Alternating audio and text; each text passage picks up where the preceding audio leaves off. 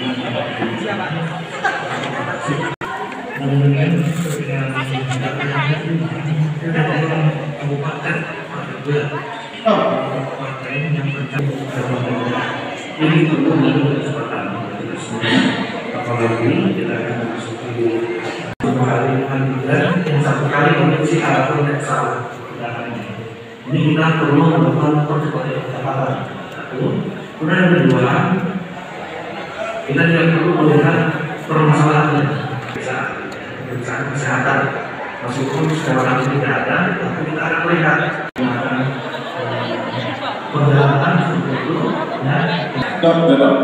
Silakan Pak. Mungkin uh, untuk persediaan vaksin atau ada cara-cara khusus ya. Vaksinasi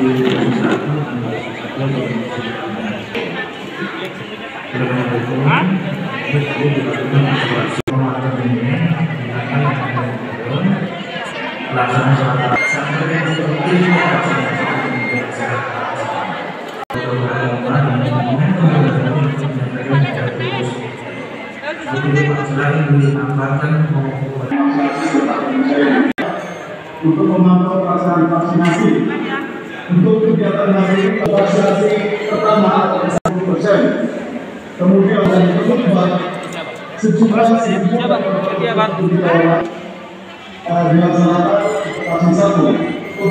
kedua 66,6 Kabupaten Pegunungan Papua Barat. Benar.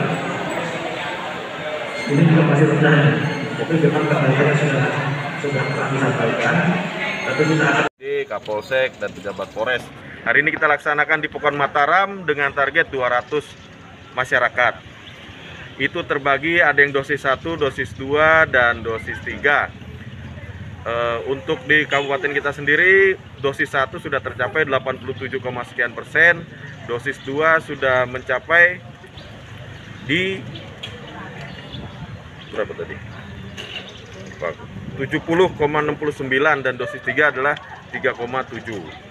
Harapan kami eh, mencapai sebelum bulan apa eh, pada masa bulan apa hari Idul Fitri capaian kita sudah mencapai target untuk dosis 3 sebanyak 20%. Kemudian lansia kita harus bisa dosis 2 sebanyak 20%. Tentunya ini eh, perlu dukungan dari masyarakat, kesadaran dari masyarakat juga untuk mensukseskan program pemerintah ini. Tidak lain dan tidak bukan demi keselamatan bersama. Dan tentunya sudah ada nanti eh, akan dijelaskan juga oleh Pak Kepala Dinas tentang peraturan edaran ya, edaran edaran dari Satgas dari Satgas Gugus eh, Pusat bahwa untuk pelaksanaan masyarakat yang akan melaksanakan mudik ya harus minimal sudah tiga kali suntik atau dosis tiga dilaksanakan.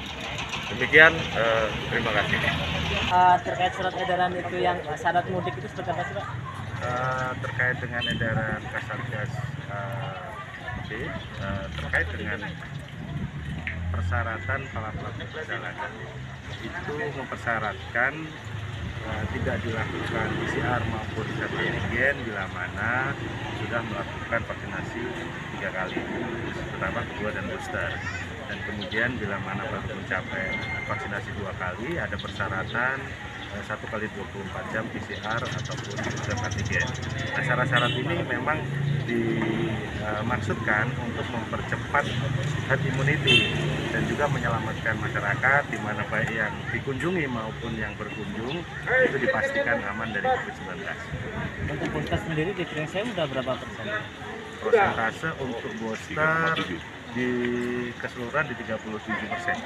Untuk targetnya? Targetnya ya harapannya sih sesuai dengan dosis pertama kedua di masyarakat kita di booster semua kalau bisa. Cuman eh, ini kan kemustahilan. Harapan ke depannya gimana dok? Harapan, harapan ke ke depan herd immunity di Kabupaten Gresik cepat tercapai dan ini menjadi salah satu buktinya di 3-4 hari ini kita kasusnya zero kasus COVID. Untuk ketersediaan vaksin sendiri di untuk Cukup. Sewu? Cukup. Cukup ya. Oke, cukup.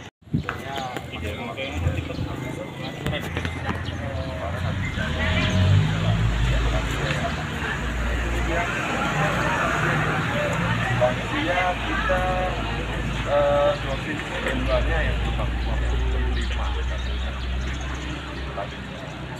55 Kalau yang